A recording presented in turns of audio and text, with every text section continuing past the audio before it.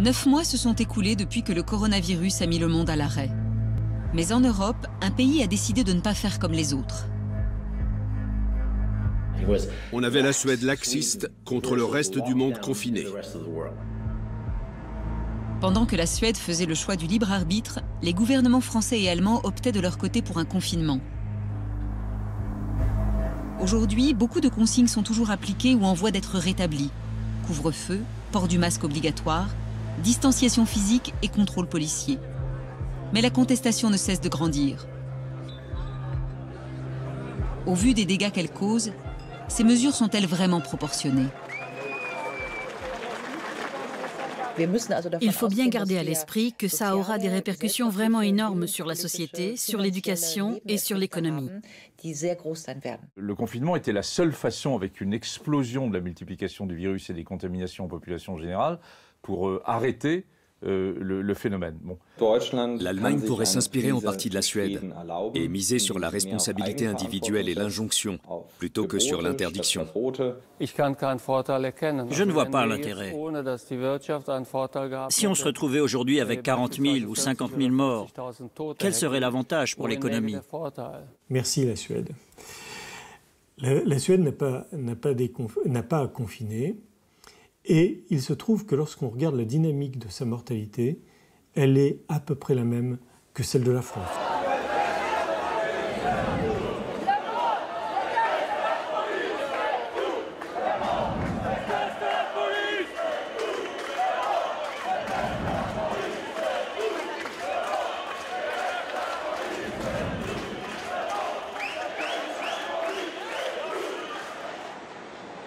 Entre le printemps et l'automne 2020, plus de 40 000 personnes sont mortes de la Covid-19 en France.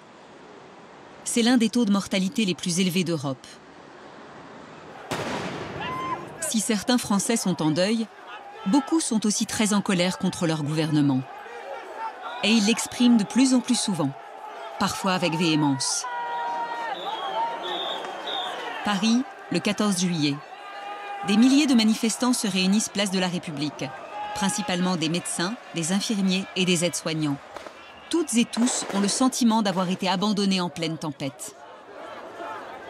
On n'oubliera pas le manque de matériel, on n'oubliera pas le manque de personnel, et c'est juste euh, un groupe et un collectif de soignants qui se sont regroupés pour essayer de te faire entendre euh, beaucoup plus amplement. Ah, j'ai pas besoin euh, que le gouvernement me dise merci, aussi comme ça, si c'est pour ne pas entendre que je veux qu'on réouvre des lits. On était extrêmement déjà fatigués par la pénibilité de notre travail, le manque de moyens et d'effectifs. Et, euh, ensuite, quand est arrivée la crise du Covid, euh, on était déjà très éreintés, ce qui nous a encore plus fatigués. La situation en France était déjà tendue avant la crise de la Covid.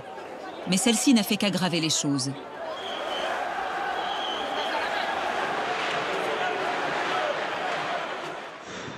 En Suède, c'est une toute autre ambiance. La plupart des habitants profitent de leur liberté et de restrictions relativement souples, comparées à d'autres pays européens. Résultat, ni colère, ni frustration. Pourtant, les Suédois auraient de bonnes raisons d'être furieux. Le nombre de décès dus au coronavirus a grimpé en flèche. Plus de 5900 victimes entre le début de la pandémie et début novembre. Proportionnellement au nombre d'habitants, le taux est identique à celui de la France. Anders Tegnell, le directeur de l'Agence de la santé, est aussi connu que le Premier ministre. Il a toujours été opposé au confinement, même lorsque le nombre de morts continuait d'augmenter. Le gouvernement a écouté ses recommandations. La population adhère à notre politique. Au bout de six mois, 90% des gens disent qu'ils suivent toujours nos conseils. Ça aurait été bizarre de changer de stratégie avec un tel soutien. Au plus fort de la crise, beaucoup de Suédois sont restés chez eux et ont renoncé aux fêtes et aux contacts sociaux, mais de leur plein gré. Le gouvernement s'était préparé à devoir vivre longtemps avec le virus. On doit faire en sorte que notre société fonctionne. Donc, on essaie d'appliquer les bonnes mesures au bon moment. Et le plus important pour nous, contrairement à ce qui a été décidé dans d'autres pays, c'est que ces dispositions puissent s'inscrire dans la durée. Selon nous, ça ne sert à rien de mettre en place des mesures si c'est pour les lever au bout de quelques semaines. Dès le printemps, le Premier ministre suédois s'est adressé sans équivoque à ses concitoyens pour les préparer aux mois à venir. Det finns en stor risk att eh, antalet fall kommer att bli betydligt fler. Vi löper naturligtvis också risk att dessvärre också se fler dödsoffer. En pourcentage du nombre d'habitants, la Suède a enregistré quasiment cinq fois plus de décès que l'Allemagne depuis le début de l'année. Pourtant, la majorité des Suédois continuent de soutenir le gouvernement. Les gens ne sont pas malheureux. La crise économique est moins forte ici que dans d'autres pays. Et ça, ça aide à se sentir mieux. La méthode suédoise a très bien fonctionné. On a réussi à garder les écoles ouvertes, ce qui a permis aux parents de travailler. En Suède, on a ce fameux gourou de la santé, Anders Tegnell. Et je pense depuis le début qu'il a adopté la bonne stratégie. L'Allemagne, quant à elle, a choisi une solution à mi-chemin entre la France et la Suède. Certes, la population a subi des mesures sanitaires, mais pas aussi fortes que chez ses voisins d'outre-Rhin. La chancelière a fait appel à la solidarité de chacun. Es ist ernst. Nehmen Sie es auch ernst. Seit der deutschen Einheit, nein, seit dem Zweiten Weltkrieg, gab es keine Herausforderung an unser Land mehr, bei der es so sehr auf unser gemeinsames, solidarisches Handeln ankommt. Entre le printemps et l'automne, les sondages ont révélé qu'au moins deux Allemands sur trois jugeaient adapter les mesures prises contre le coronavirus. Il y a un gros tiers qui a vraiment peur et donc qui approuve totalement les mesures, ou même qui souhaiterait des mesures renforcées. Mais il y a aussi une partie qui s'empresse sans doute d'obéir parce qu'on leur dit c'est la majorité qui a un comportement raisonnable. Or, qui voudrait ne pas être raisonnable? C'est la théorie d'Adorno sur les phénomènes de groupe, repérée également par Anna Arendt dans les processus politiques. Quand on dit aux gens que c'est pour leur bien, ils sont prêts à accepter presque tout. C'est ce qui expliquerait aussi qu'on attribue au masque toute une charge symbolique. Regardez, je porte le masque, j'ai un comportement exemplaire. Je le porte même dans la rue, même quand elle est vide. Outre ces appels à la discipline, le gouvernement allemand semble avoir joué délibérément sur la corde sensible de la peur et de l'émotion. C'est du moins ce que semble indiquer un document interne du ministère de l'Intérieur datant du mois d'avril, dans lequel il est écrit le scénario du pire doit être clairement établi, avec toutes les conséquences que cela implique pour la population. Pour obtenir l'effet de choc souhaité, il faut exposer clairement les conséquences concrètes d'une infection sur la société. Puis les auteurs du texte ajoutent que, dans le cas contraire, le pire des scénarios envisagés table sur un million de morts en 2020, rien qu'en Allemagne. il fallait expliquer aux gens que beaucoup allaient mourir chez eux dans d'atroces souffrances respiratoires, et que les enfants allaient contaminer leurs parents. Plus tard, le ministère de l'Intérieur s'en est expliqué. Le document a été réalisé dans le but d'analyser, au moment de sa rédaction, différents scénarios possibles de propagation du coronavirus, indépendamment de la probabilité de leur apparition.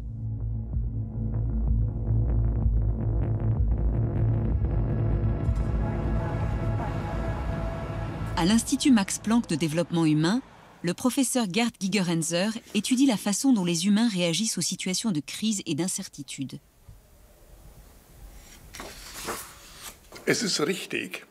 Une chose est sûre, les gens qui ont peur sont plus faciles à contrôler, du moins tant que la peur n'est pas trop forte. On peut donc supposer que les chiffres sur lesquels on s'est basé au début, qui étaient beaucoup trop élevés, ont permis de susciter suffisamment de peur pour que les règles sanitaires soient respectées. De manière générale, la peur est une réaction très humaine, un pur réflexe face au danger. Mais c'est aussi une émotion qu'on peut attiser sciemment pour pousser les gens à adopter le comportement requis. Et ça a peut-être été le cas ici. Cet automne, en Allemagne, 37% des personnes interrogées ont déclaré avoir peur d'être infectées par le coronavirus. En France, elles étaient près de 70%. L'inquiétude n'est pas forcément proportionnelle au nombre de morts. En outre, les victimes d'autres maladies ont été moins présentes dans l'espace médiatique, À titre de comparaison, cette année en France, il y a eu chaque mois en moyenne presque quatre fois plus de personnes mortes du cancer que de la Covid-19. Cette inquiétude reflète donc surtout la peur de voir l'épidémie s'aggraver. Certains appellent ce phénomène la peur des risques de choc. Un risque de choc, c'est lorsqu'un grand nombre de personnes peuvent mourir sur une période de temps assez courte. Ça inclut les pandémies, mais également les crashs d'avions qui nous font tout aussi peur.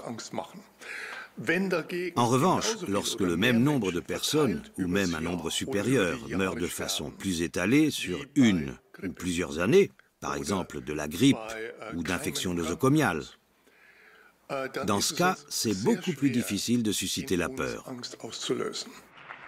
Est-ce aussi cette peur des risques de choc qui influence les députés?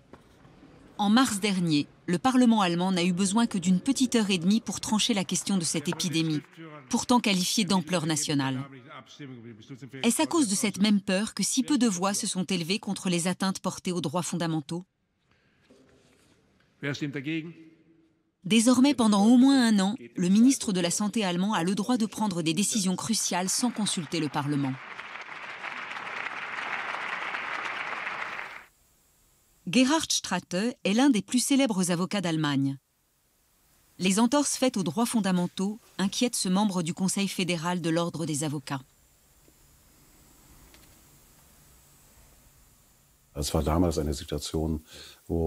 À l'époque, on avait encore du mal à estimer le mode opératoire et la puissance du virus. L'heure était aux décisions de l'exécutif. Et là-dessus, je n'ai pas mon mot à dire. Mais de telles atteintes aux droits fondamentaux ne sont tolérables que si elles ont une durée définie, une date limite en quelque sorte. Äh, Or, aujourd'hui, ça fait plusieurs mois que la pandémie sert à justifier cette ingérence des autorités. Et on ne sait toujours pas combien de temps ça va encore durer. C'est une situation à la fois peu compréhensible et difficilement supportable.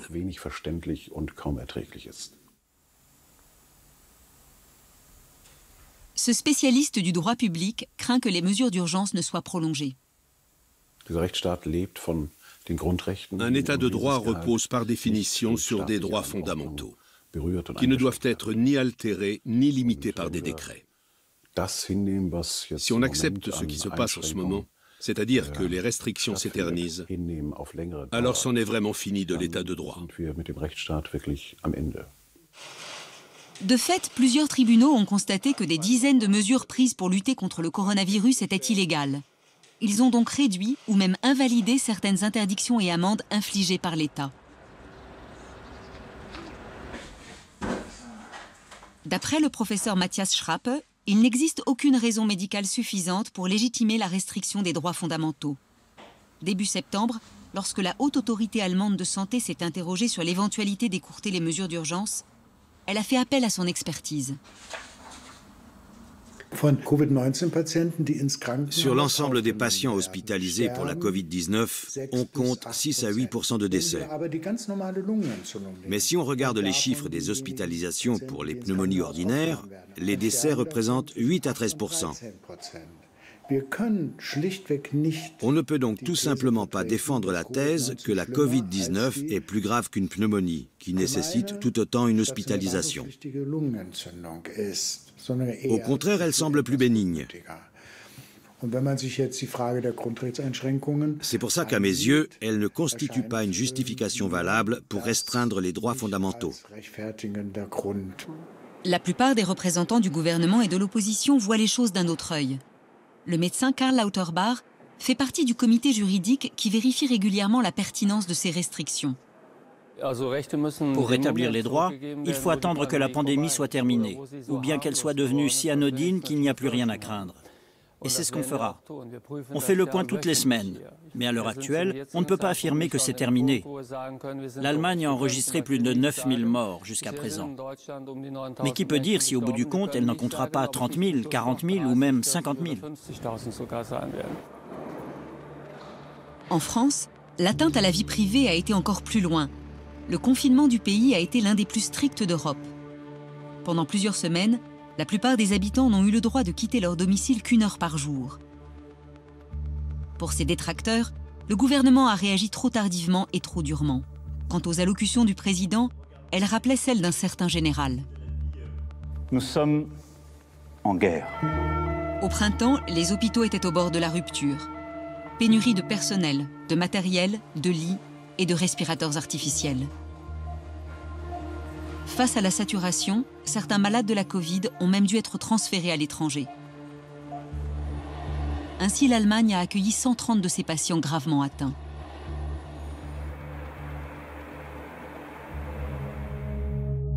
Au cours de ces quatre dernières années, le nombre moyen de décès en France s'élevait à environ 11 500 par semaine, la plupart dus à une maladie cardiovasculaire ou à un cancer. Cette année, le pays a compté nettement plus de morts que les années précédentes, en particulier au printemps. Et cet automne, les chiffres ont recommencé à monter. Cela signifie qu'en 2020, la France aura connu une situation de surmortalité. Début novembre, plus de 37 400 personnes étaient déjà mortes de la Covid-19 soit presque 7% de l'ensemble des décès. Pendant ce temps, plusieurs commissions d'enquête ont analysé la façon dont le gouvernement a géré la crise. Fin septembre, le ministre de la Santé lui-même a dû s'expliquer devant le Sénat. Le sénateur et médecin généraliste Bernard Jaumier est l'un des rapporteurs de cette commission. D'après lui, le gouvernement n'a pas dit toute la vérité et n'a pas réagi à temps. Les responsables politiques ne savaient pas ce qu'était de lutter contre une épidémie. Entre fin décembre, début janvier, où notre ministre de la Santé comprend qu'il y a quelque chose euh, qui se passe, et la mise en route de l'appareil d'État, et la mise en route après de l'ensemble des, des, responsables publics et des forces publiques pour préparer l'arrivée de l'épidémie, le délai a été beaucoup trop long, beaucoup trop long, et a provoqué la vague euh, du printemps qui a été la vague meurtrière et qui a causé la mortalité plus importante que dans d'autres pays. L'union s'effrite même au sein de la République en marche, qui ne dispose plus que d'une courte majorité à l'Assemblée nationale. Martine Vonner a quitté le parti et rejoint le groupe Liberté et Territoire. Elle rejette catégoriquement le principe de gouvernance par décret. Le gouvernement peut prendre toutes les mesures de privation de liberté sans aucun contrôle parlementaire. Et c'est véritablement un danger pour la démocratie en France et pour les libertés fondamentales et les droits fondamentaux des citoyennes et des citoyens. Qu'aujourd'hui, nous ne vivons pas dans une démocratie. La démocratie française est totalement bâillonnée. C'est elle qui est vraiment malade euh, de la Covid. Ce n'était pas la bonne décision. C'était la moins mauvaise des décisions. C'était probablement la seule qu'on pouvait prendre. J'en suis totalement persuadé. Les courbes que nous avions quand on a, au moment du 10 mars, euh, évoqué de l'ordre de 150 000 morts en France. Entre 150 000 et 180 000 décès. Quel que soit le pays, personne n'échappe à la peur que suscite depuis des mois le nombre des victimes du coronavirus. Dès le début de la crise, le monde entier s'est focalisé sur les chiffres des infections et des décès. 5000 neue Corona-Infektionen. 541 décès liés au coronavirus. 650.000 Todesfälle. 423, 949, 1784, 9134 cas. 16 018 à 52 128. Die Zahl der Corona-Toten insgesamt wird kommende Woche eine Million überschreiten. Il faut arrêter cette focalisation sur les nombres de cas. Tous les statisticiens le disent, ça n'a pas de sens. On n'a aucun point de référence. Et sans point de référence, il n'y a pas de comparaison possible. Certains épidémiologistes et virologistes de premier plan critiquent eux aussi la pertinence de certaines données. Si ça sert simplement à alerter, on risque de ne plus avoir de mécanisme fiable le jour où ça sentira vraiment le roussi.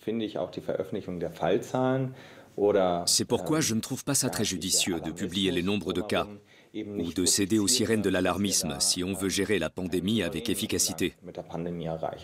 Le nombre cumulé donne une croissance permanente puisque on cumule les nouveaux cas aux cas déjà existants. Donc ça ne peut jamais reculer. Donc ça ne peut être... vous voyez, psychologiquement, on voit quelque chose qui augmente en permanence. Donc c'est hyper anxiogène. En Allemagne, le nombre de testés positifs a beau augmenter en flèche, beaucoup de lits de réanimation restaient encore vides fin octobre. Au même moment en France, les hôpitaux étaient de nouveau engorgés. La dernière semaine d'octobre, les deux gouvernements ont décrété un reconfinement. Pourtant, de plus en plus d'experts mettent en garde contre les dégâts causés par le ralentissement de la vie sociale. John Ionadis est l'un des épidémiologistes les plus influents au monde. Quand on a commencé à prendre ces mesures draconiennes, elles étaient parfaitement justifiées, car on pensait que le virus risquait d'infecter 80% de la population. Mais très vite, nos données se sont affinées et ont montré que nos estimations n'étaient pas réalistes. Grâce aux connaissances qu'on a acquises depuis, on s'est rendu compte que ces mesures avaient causé des dommages considérables à la santé, à la société et à l'économie. Les dégâts sont nombreux. Beaucoup de patients atteints de maladies graves n'ont pas pu être pris en charge ou alors trop tard. Afin de libérer des lits de réanimation pour les cas de Covid-19, les ministres de la Santé ont appelé les hôpitaux à reporter les interventions qui ne présentaient pas de caractère d'urgence. C'est ainsi que plus de 10 000 opérations et soins médicaux ont été annulés. À Ratisbonne, en Bavière, l'hôpital Saint-Joseph a refusé d'appliquer cette décision et a continué de soigner les patients gravement malades le professeur Olaf Hortmann a mis en garde très tôt contre l'obsession du coronavirus.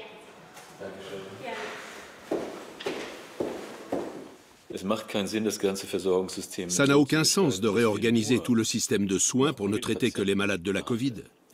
On doit aussi s'occuper des autres. En Allemagne, il y a 700 patients qui meurent chaque jour du cancer et 500 000 nouveaux cas chaque année. Il faut bien qu'on les soigne. C'est une énorme charge pour le système de santé, si ce n'est la plus importante. Parmi les nombreux patients qui n'ont pas été traités se trouvent également ceux qui n'ont pas osé venir à l'hôpital par peur d'être infectés. Entre mars et mai, plus de 1200 hôpitaux allemands ont mis une partie de leur personnel en chômage partiel. Et le nombre de décès a reculé par rapport à l'année précédente. En Allemagne, il oscille actuellement entre 16 000 et 20 000 par semaine. Comme en France, la plupart sont dus à une maladie cardiovasculaire ou à un cancer. Jusqu'à la mi-mars, le pays comptait moins de morts que les années précédentes. En avril, le chiffre est passé nettement au-dessus de la moyenne pendant quelques semaines en raison du coronavirus, avant de revenir à la normale. En août, la courbe a connu un nouveau pic, lié cette fois à la canicule qui a fait 19 450 victimes. La ligne rouge montre l'évolution des décès dus à la Covid-19 cette année. Début novembre, il s'élevait à 10 600.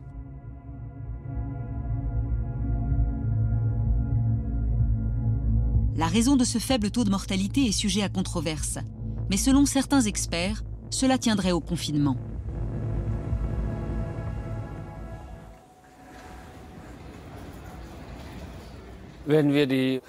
Si on n'avait pas imposé ces règles, l'Europe aurait connu une véritable catastrophe. Ça ne fait aucun doute. Le virus aurait sûrement fait pas loin de 500 000 victimes. Après, il y a aussi des effets bénéfiques.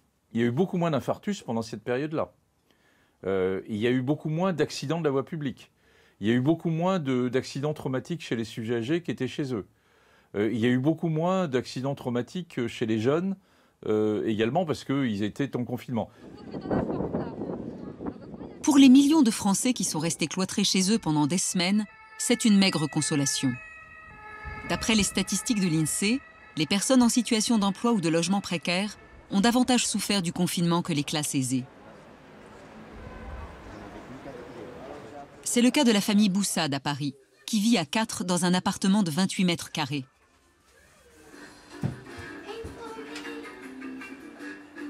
Il y a des conflits. Moi et ma femme, toujours des conflits. Donc toujours de serein comme des sardines. Une vie normale. Hein, pas. J'aimerais bien. C'est pas pour moi, c'est pour mes enfants. Moi, j'ai presque 50 ans après mes enfants. Après, si, ils vivent pas la jeunesse. Comme ça, comme un sardine, c'est pas bon. Le petit maintenant, il comprend tout. Hein.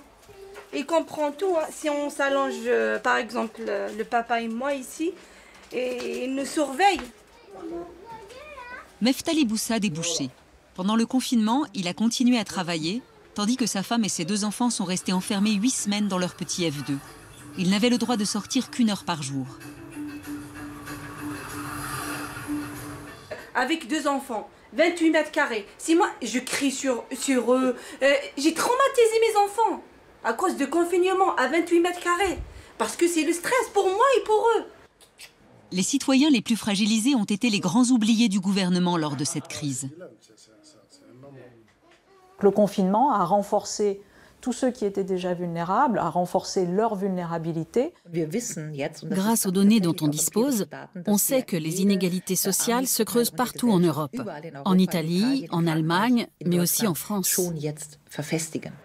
C'est ce que constatent également beaucoup d'organisations humanitaires en France, telles que cette antenne des Restos du Cœur en région parisienne. Ici, les habitants ont été durement frappés par l'épidémie. Ils sont deux fois plus nombreux qu'avant à venir chercher nourriture et soutien à l'association. Beaucoup ont perdu leur emploi et ne retrouvent ni petit boulot ni CDD. Il y en a qui, euh, qui arrivent en pleurant parce que euh, malheureusement ils avaient réussi à se débrouiller jusqu'à présent et que là bah, ils passent un, cap difficile et que euh, bah, sont obligés de le faire parce qu'il faut bien aussi qu'ils puissent s'alimenter alimenter souvent la famille. Il y a des enfants donc il faut qu'ils fassent ce pas-là. Grâce au Resto du Cœur, ils peuvent récupérer de la nourriture gratuitement deux fois par semaine. C'est très important pour nous, ça nous aide énormément, euh, que ce soit pour les enfants, que ce soit pour nous. Euh, je les remercie aussi. Toutes les inégalités de la société euh, sont devenues plus difficiles et plus dure et plus violente avec la période de confinement. Et donc en particulier sur la situation des femmes qui pouvaient vivre avec des contrats précaires, avec euh, des petits boulots, avec quelques heures euh, de travail par-ci par-là, où ça n'a plus été possible pendant la période de confinement, ben, ça a évidemment aggravé leur situation euh, aussi. En Suède, tout le monde a pu poursuivre le travail. Anna Maria Wiedemann et sa famille vivent à Järna, une petite commune située à 50 km de Stockholm. Il y a 12 ans, son mari et elle ont quitté l'Allemagne pour venir s'installer en Suède. Aujourd'hui, elle se réjouit plus que jamais d'avoir pris cette décision. C'est un sacré avantage d'avoir pu continuer à travailler. J'ai même pu partir en déplacement professionnel dans le pays, c'était autorisé. Et les enfants ont pu continuer leur activité extrascolaire. Tous les encadrements de loisirs ont été maintenus. Je pense que ça a énormément soulagé les femmes. Si la vie des parents a été facilitée, celle des enfants aussi.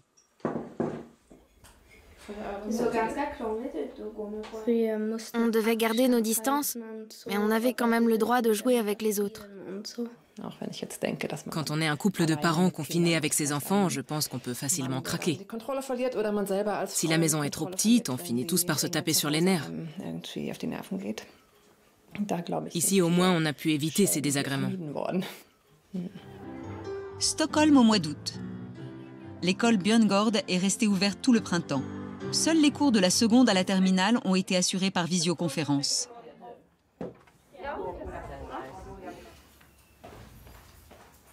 Michael Kalmenstam, le directeur de l'établissement, a contracté la Covid au printemps et a dû rester isolé cinq semaines chez lui. Il est le seul de l'école à avoir été aussi malade.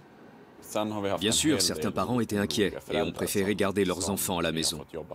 Il a fallu faire de la pédagogie. Mais à la fin de l'année scolaire, tous les enfants étaient revenus en cours.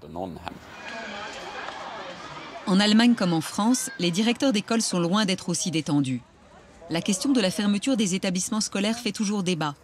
Les règles sont plus strictes et les gens plus anxieux. Même dans les classes où le masque n'est pas obligatoire, beaucoup de parents et de professeurs insistent pour que les enfants continuent de le porter. On subit un peu la pression sociale, parce que si tout le monde le met, on n'a pas envie de l'enlever. Je trouve qu'on en fait trop avec cette histoire de Covid. D'accord, c'est dangereux, mais seulement pour les papis et les mamies. Même si l'école nous avait pas forcé à porter le masque, je l'aurais quand même gardé. Je trouve ça idiot de ne plus nous obliger à le mettre parce que ça avait donné de bons résultats. Et quand quelque chose donne de bons résultats, il n'y a pas de raison d'arrêter. Pour la plupart des directeurs d'établissement, la priorité est d'empêcher toute infection. Dans le doute, je considère chaque personne comme un vecteur potentiel de maladie. C'est le seul principe qui guide mes décisions. Les règles contraignantes s'appliquent aussi aux élèves de 6e. J'ai surtout envie de protéger les personnes que j'aime.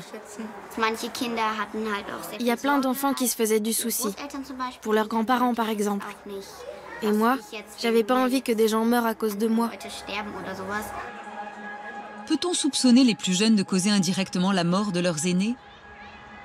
La Société nationale de pédiatrie rappelle à toutes fins utiles que les enfants ne transmettent que très rarement la maladie. Les médecins Nicolas Fels et Karine Michel vont même plus loin.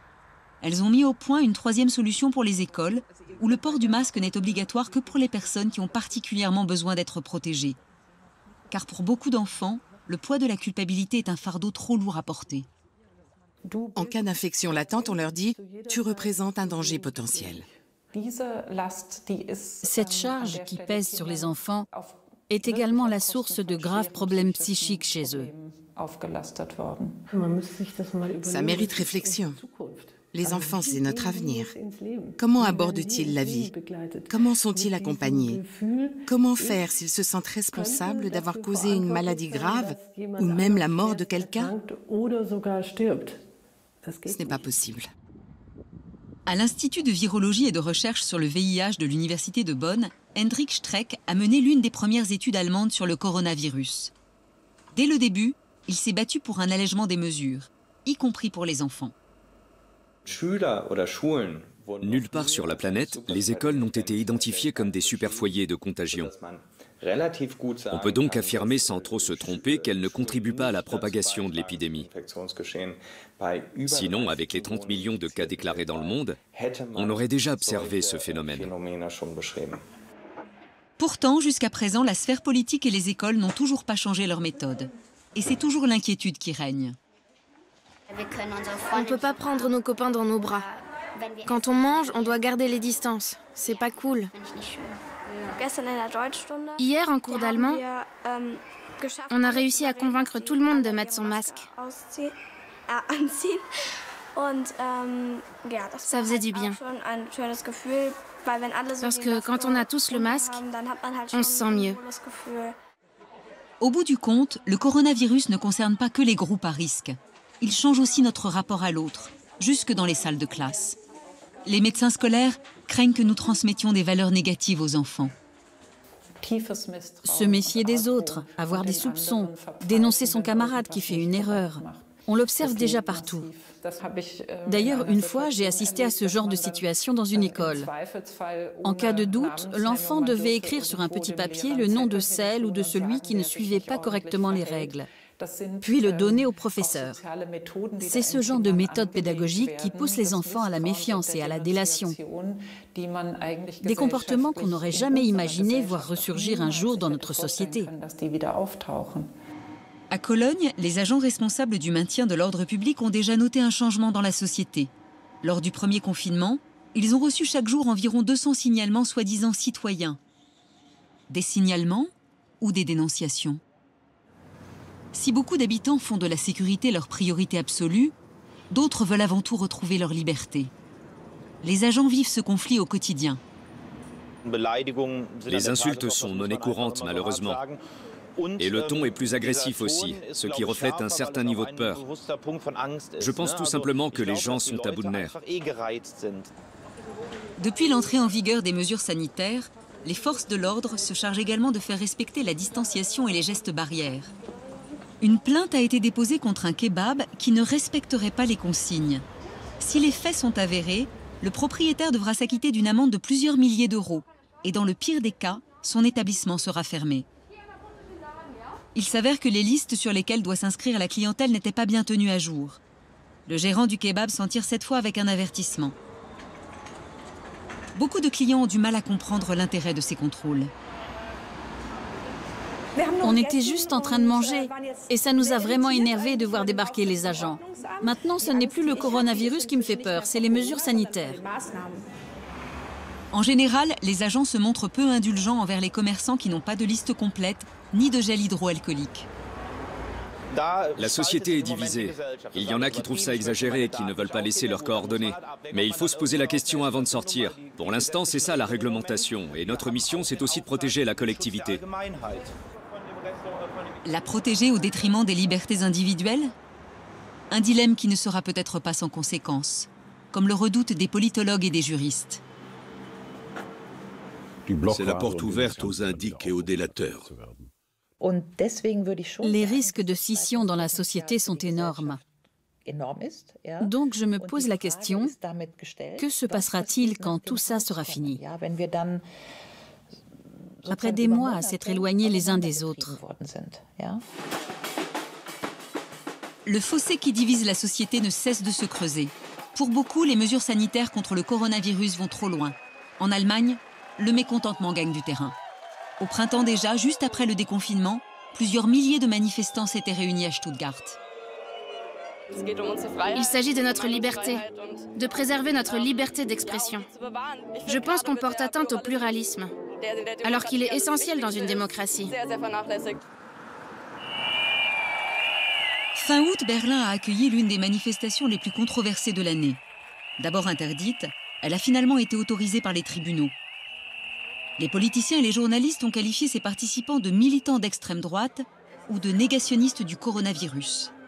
Et c'est vrai qu'on a pu apercevoir dans la foule des ultranationalistes qui agitaient des drapeaux du Reich. Mais ils étaient en minorité. On observe une forte tendance à qualifier tout d'un coup de dissidents des gens qui ne sont ni d'extrême droite ni fous. Aujourd'hui, beaucoup de gens avec qui je parle, des personnes tout à fait raisonnables, ont le sentiment qu'il est devenu dangereux d'exprimer un avis sur la lutte contre la pandémie qui s'écarte de la pensée dominante. Et pour moi, le simple fait que ce sentiment existe est le signe que les dirigeants politiques doivent changer de toute urgence leur façon de communiquer. Selon les estimations officielles, près de 40 000 personnes ont participé à la manifestation. Mais selon les organisateurs, le chiffre était beaucoup plus élevé. Dans les sondages, trois Allemands sur quatre ont déclaré ne pas comprendre les manifestants, ni la raison pour laquelle ils critiquaient les mesures sanitaires. Je trouve ça super qu'on ait de bons résultats. Je n'aurais jamais pensé que la chancelière serait prête à accepter des pertes économiques. Je suis content de la situation ici. On veut rester en bonne santé. Pour moi, la sécurité passe toujours en premier. Donc il faut maintenir ces mesures. Mais est-ce une raison pour ne pas les interroger? C'est ce que semblent souhaiter certains politiques et journalistes qui sont allés jusqu'à qualifier les manifestants anti-mesures sanitaires de covidiaux. Diffamer ces personnes et les traiter de covidiaux, c'est une forme d'exclusion. Ça revient à dire je ne prends pas vos arguments au sérieux. Et c'est ça qui est insidieux dans le débat actuel. Il y a une sorte de bien-pensance générale, au fond assez péremptoire, qui a décidé de ne pas prendre certains arguments au sérieux, sous prétexte qu'ils viennent de telle ou telle personne. En ces temps de coronavirus, les contradicteurs ont la vie dure. C'est la même chose en Suède. Sauf qu'ici, ce sont les partisans des restrictions qui sont en minorité. Au début, tout comme en Allemagne, il y a eu très peu d'opposition. Effectivement, il y a eu ce qu'on appelle une paix citoyenne. C'est quand chacun se retient d'émettre des critiques et qu'on essaie de rester tous unis. C'est ce qui s'est passé ici. Pendant au moins les deux, trois premiers mois, les partis d'opposition se sont abstenus de formuler le moindre reproche. À l'Institut Karolinska de Stockholm, la chercheuse Claudia Hansson travaille sur la santé des femmes et les maladies infectieuses. En avril, avec 21 autres scientifiques, elle a demandé au gouvernement suédois de revoir sa politique.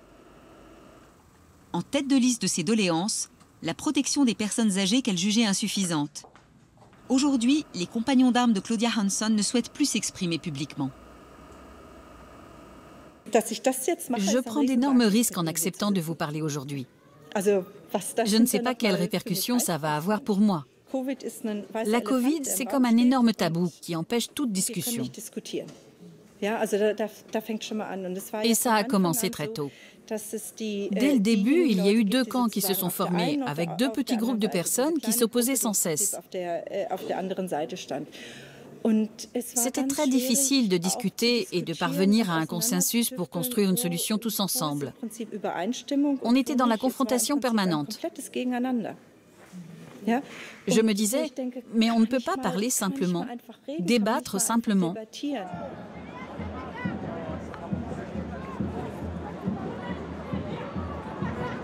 La crise a porté un coup fatal aux principes les plus élémentaires du débat. Nos sociétés se divisent désormais en deux camps irréconciliables, les partisans des mesures sanitaires et leurs détracteurs.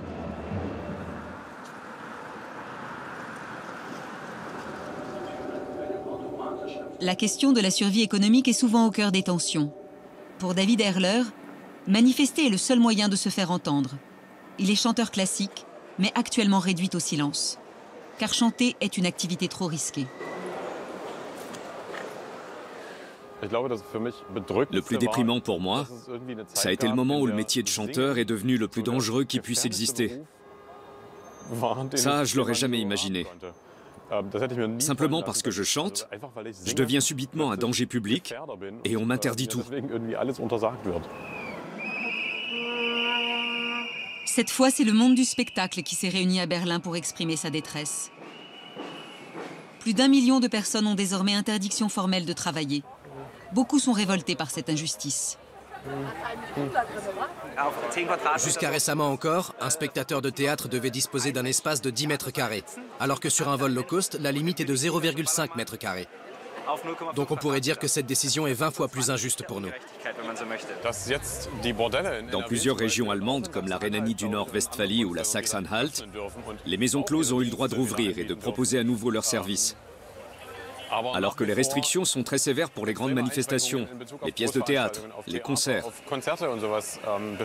C'est un nouveau coup de massue pour l'ensemble du secteur culturel.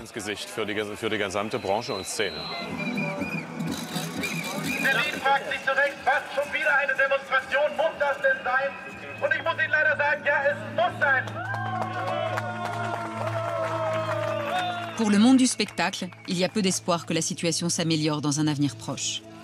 Tôt ou tard, une grande partie de ces indépendants va se retrouver au chômage. D'après les experts, l'économie allemande devrait accuser un recul d'au moins 5,4% pour cette année, tous secteurs confondus. En France, le constat est encore plus accablant. La récession économique devrait frôler les 9,5%.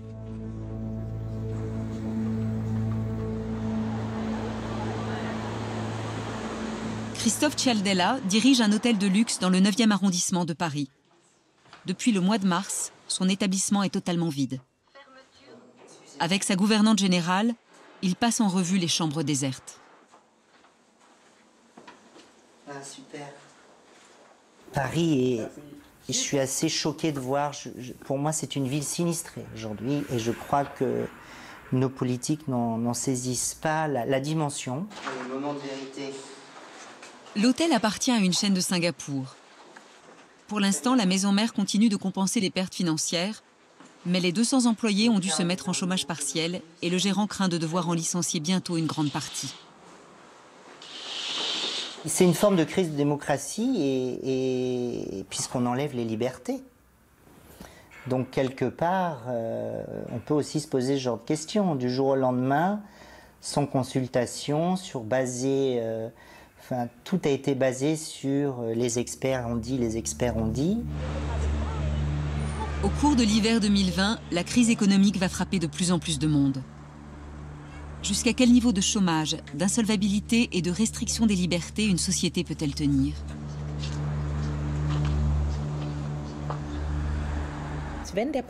Quand le prix à payer sera clair et net, et il va se préciser au fur et à mesure de la crise, j'ai peur qu'il soit très élevé. Et encore plus que cela entraîne un éclatement de la société. Si on accepte de ne pas restreindre les libertés des uns, on le fait au détriment de la liberté des autres. C'est pour ça qu'en période de pandémie, il faut des restrictions vraiment démocratiques afin de protéger autant que possible les nombreuses libertés qui nous restent et de les protéger au mieux pour l'ensemble de la société. Mais cette protection peut aussi coûter beaucoup à certains. Arnsberg, à 50 km de Dortmund. La maison de retraite Sainte-Anne accueille 90 pensionnaires. Si aucun d'eux n'a été testé positif, beaucoup ont été très isolés ces derniers mois. C'est le cas d'Ingeborg Feldmann, 88 ans.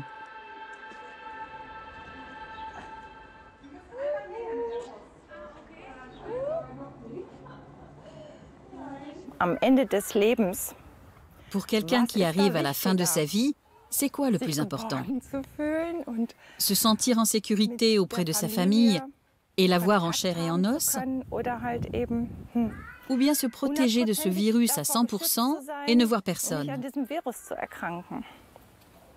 Aujourd'hui, après huit semaines d'attente, les contacts sont de nouveau autorisés et Gabi va enfin pouvoir revoir sa mère de près. Malheureusement, pas aussi longtemps qu'elle le souhaiterait, car la durée des visites est limitée à 30 minutes. L'idée que ma mère puisse mourir sans que j'aie pu la serrer dans mes bras juste avant, je trouve ça très dur. Et à cet âge-là, ça peut arriver n'importe quand. On n'en sait rien.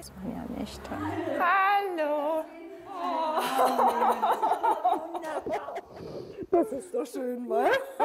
Guck mal, Dodo. So, jetzt müssen wir aufhören. halt dich mal fest. La mère et la fille ont eu la permission de se prendre dans les bras quelques instants. En dehors de ces visites, Ingeborg doit rester dans la salle commune et n'a pas le droit de quitter la résidence. Ici, on est des prisonniers. On n'est pas libre. Si on veut aller quelque part, faire deux ou trois pas dans la rue, impossible, c'est interdit. Plus d'un tiers des décès dus à la Covid sont survenus dans les EHPAD. Mais pour le spécialiste de médecine interne Mathias Schrappe, enfermer les personnes âgées n'est pas la solution.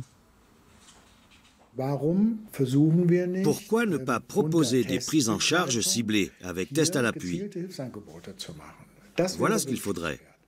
Il ne s'agirait plus d'enfermer, mais d'aider. On peut très bien installer devant l'EHPAD une fourgonnette avec tout le matériel pour faire les tests. Les petits-enfants qui veulent rendre visite à leurs grands-parents viennent faire le test la veille. Le lendemain, ils reçoivent un SMS qui dit que c'est négatif et ils peuvent passer toute la journée avec leurs grands-parents. Bien sûr, ça demande une certaine énergie collective et de l'innovation, mais ce n'est pas insurmontable, surtout par rapport à ce qu'on fait déjà aujourd'hui.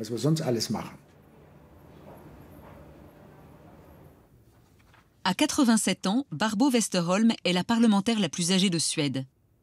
Selon elle, c'est de manière plus générale qu'il faut changer notre rapport aux personnes âgées. Celles-ci ne doivent plus être enfermées ni contraintes de rester chez elles.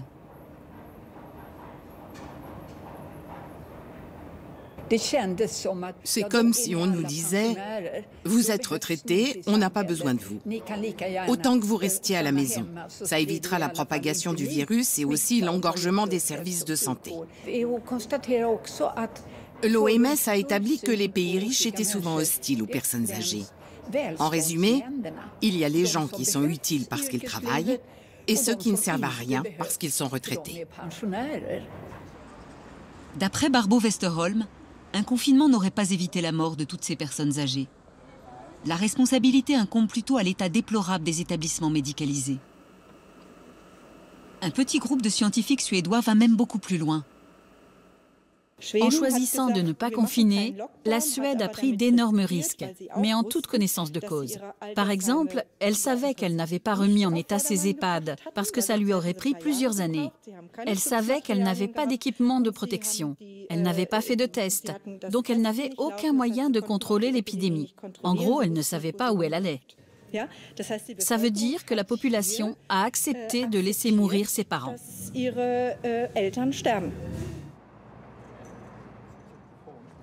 L'épidémiologiste Anders Tegnell reconnaît qu'il aurait fallu mieux protéger les personnes âgées. Mais pour lui, un confinement n'aurait rien changé.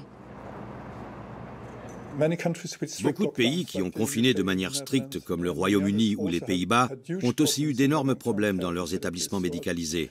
Donc le confinement a peut-être certaines vertus, mais il y a aussi une partie de la population qui le protège mal.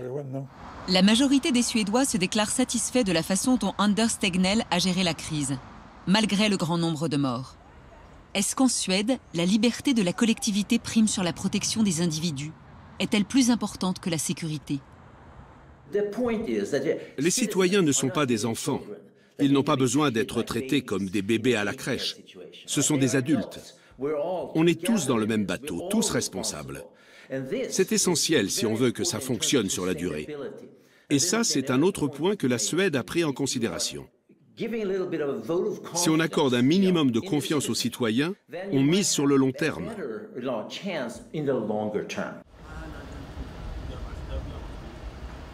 Pour la plupart des Suédois, le choix de la liberté a visiblement porté ses fruits l'économie a été touchée moins durement ici que dans le reste de l'Europe. le gouvernement table sur une récession de 4,6%. Depuis fin octobre, après une longue période de stabilisation, le nombre de testés positifs remonte en flèche. Mais les Suédois maintiennent leur ligne de conduite. Un dirigeant doit être prêt à revoir ses positions, à revenir en arrière et même à faire volte-face en cas de nouvelles données. C'est très important de comprendre ça. Un politicien qui ne dévie jamais de sa ligne, ça peut être dangereux. Comment on reste un état de droit et social digne de ce nom dans un système d'urgence et dans un système de droit d'exception? Ça, c'est l'autre grande leçon. Ce qui pêche, c'est la communication. Il faut expliquer les mécanismes et surtout donner des précisions quotidiennes ou hebdomadaires sur la finalité de toutes ces mesures. Et ça, je ne l'ai pas encore entendu. Face à la nouvelle recrudescence des cas de Covid, les gouvernements français et allemands ont réagi fin octobre en instaurant des mesures plus drastiques et une nouvelle restriction des libertés. Tandis qu'en Suède, si les mesures ont dû être également renforcées, les dirigeants continuent de prôner le principe du libre arbitre et de faire confiance à la population. En attendant un traitement ou un vaccin, personne ne sait à ce jour quelle est la meilleure stratégie.